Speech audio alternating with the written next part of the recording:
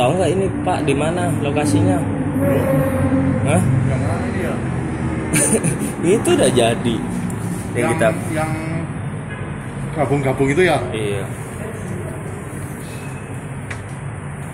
Ini kan jalannya nih. Ini jalan ke Pion.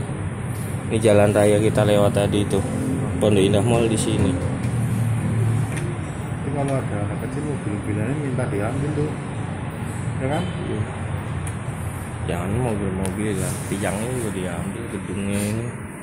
yang listriknya tuh Nah, juga anak bocah.